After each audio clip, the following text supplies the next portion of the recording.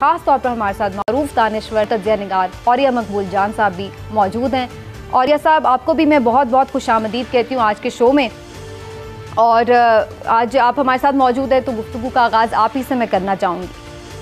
Sir, सबसे पहले तो आप ये फरमाइए कि जो मस्जिद नबवी में वाक़ पेश आया, क्या आप समझते हैं कि खुदा न खास्ता ये तोहन के ज़ुमरे में आता है और इस पर यूँ मुकदमात कायम करने की ज़रूरत थी?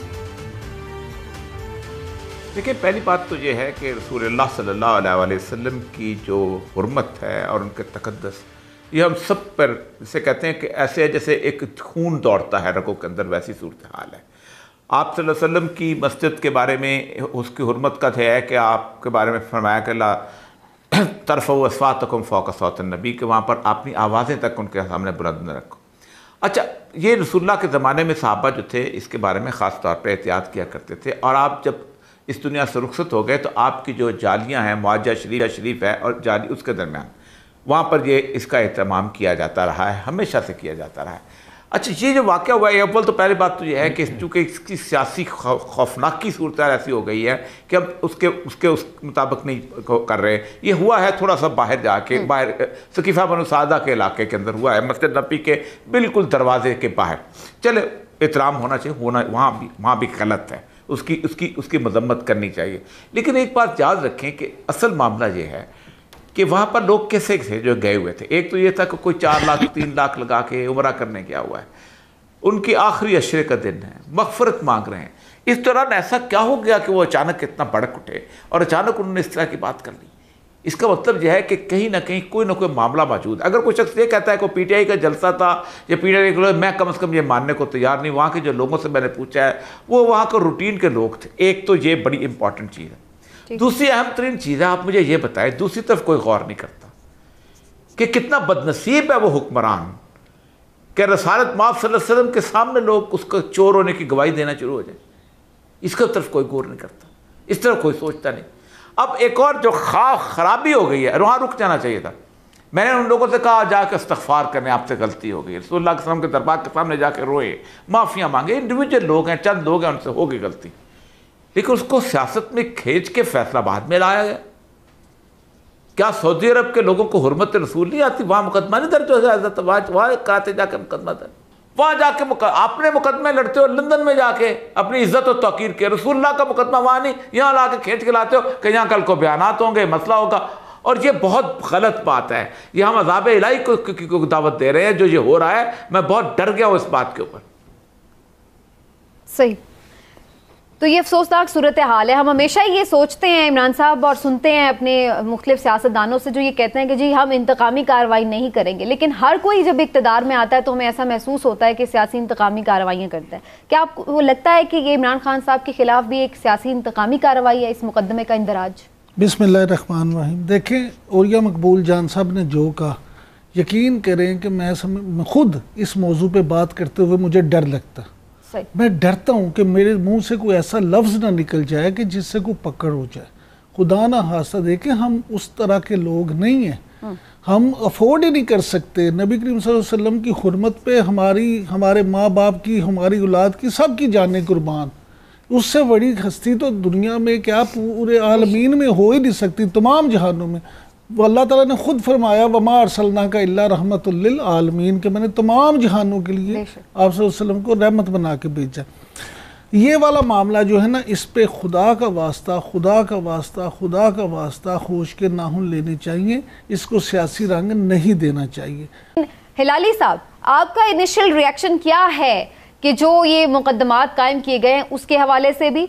क्योंकि बहुत सारे लोग तो ये भी आज बात कर रहे हैं कि लगता है कि वाकई इमरान खान साहब के खिलाफ कोई माली करप्शन के कोई इतने बड़े चीज़ें स्कैंडल्स नहीं मिले तो इसलिए फिर इन्हें अब आखिरकार आकर इस किस्म के मुकदमात का सहारा लेना पड़ा है। तो आप क्या इस पर रिएक्ट करेंगे? हो सकता है। मगर मेरा तो सवाल यह है कि सऊदियों ने इनको क्यों नहीं पकड़ा? क्या हम उनसे बेहतर मुसलमान हैं? हम्म। जी जी हिलाल साहब उन्होंने नहीं पकड़ा। वो तो कहते हैं हमारे से बेहतरीन मुसलमान है नहीं मगर हम पकड़ रहे हैं उनको। और देखिए क्या कहा। और या साहब कहते हैं कि हालाँकि हम बेकसूर हों फिर भी हमारी पकड़ हो सकती है। यह औरिया साहब ने कहा था कि इमरान याकूब ने कहा था माने बेकसूर आदमी का पकड़ हो सकता है। है यही है ना? तो इसके हम्म। माने इस्लाम टॉलरेट करता है बेकसूर आदमी का पकड़ पकड़। क्या बात कर रहे हैं लोग? सऊदी अरेबिया ने कहा है कि जिधर ये बहुत गलती थी ये कहने मैं कहता हूँ दरवाजे के अंदर या दरवाजे के बाहर। होना नहीं चाहिए। नज़दीक भी नहीं। हम्म। नहीं होने एक मील से भी डेढ़ मील से भी कुछ ऐसी चीज़ नहीं कहनी चाहिए जो उनकी बेहरमती हो। बेशक। हमारे नबी के वसल्लम की। ठीक। मगर सऊदियों ने कुछ नहीं किया और तुम कर रहे हो। और तुम वो भी नहीं कि वो आदमी उधर था वो आदमी इधर है। उसको पकड़ रहे हो इधर। यार ये देखिए माफ़ करिए। हम्म। ये एक रेचिड कंट्री है। अफसोस से कहना पड़ता है सही बात। ये बदकिस्मत हैं हम लोग। बदकिस्मत हैं कि इस किस्म के लोग के पास कुत है पावर है। इस किस्म के लोग जो ये हरकतें कर रहे हैं और आप चाहते हैं ये मुल्क तरक्की करे अमन हो स्टेबिलिटी हो फॉर गेट इट सही। और ये मकबूल जान साहब ये हम एक आम फिक्रा है जो बहुत ज़्यादा सुनते हैं। कि जी सियासत को मज़हब में मज़हब को सियासत में नहीं लाना चाहिए और सियासत और मज़हब को अलग अलग रखना चाहिए। लेकिन फिर हम ये देखते हैं कि मुख्तलिफ़ पार्टीज़ की जानब से ऐसा होता भी है। कुछ लोग इसकी हक में इसकी हिमायत में ये भी दलील देते हैं कि सियासत को मज़हब से जुदा नहीं किया जा सकता। वो इकबाल के शेर का मिसरे का हवाला भी देते हैं कि जुदा हो दी सियासत से तो रह जाती है चंगेजी। जी सियासत से तो। मैं थोड़ा आपसे इस पे ज़रूर रहनुमाई चाहूँगी कि क्या हम इस्लामी मेरी बात सुने। आज, इसकी डिवीज़न कैसे की जाए? जी। देखें आज भी एक चैनल पे मुझसे किसी ने पूछा कि इमरान खान साहब जो हैं रियासत मदीना की बात करते थे और ये है वो है। मैंने कहा मुझे ये बताएँ कि कायद अजम किस रियासत की बात करते थे? रियासत मदीना की? आपको पता है जब ग्यारह अगस्त की तकरीर कायद अजम की आई है तो उसके बाद वो वहाँ गए हैं अठारह जनवरी को। और उन्होंने वहाँ तकरीर करते हुए कहा there are people who are creating mischief that we will abandon the Sharia law. The Sharia law is as applicable today as it was 1300 years ago.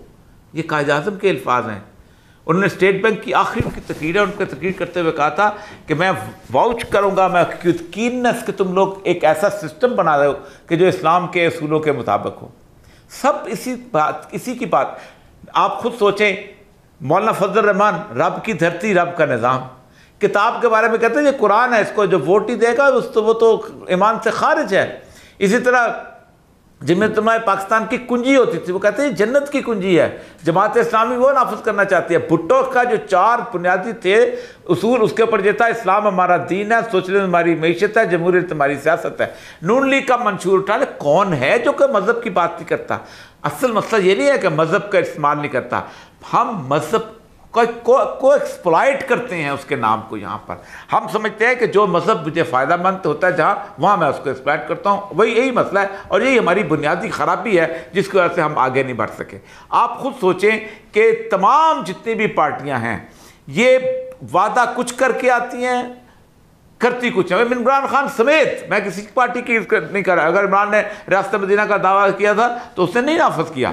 यही हमारा अलमिया है। अगर बेनज़ीर भुट्टो के खिलाफ जिस वक्त नवाज़ शरीफ साहब उठे थे तो उन्होंने यही कहा था कि इस्लामी शायर और ये वो आई जी आई क्या बनी थी? जमात इस्लामी का मलगूबा थी और नून लीग का। और उन्होंने कहा था कि हम तो यहाँ इस्लाम नाफज करके रहेंगे।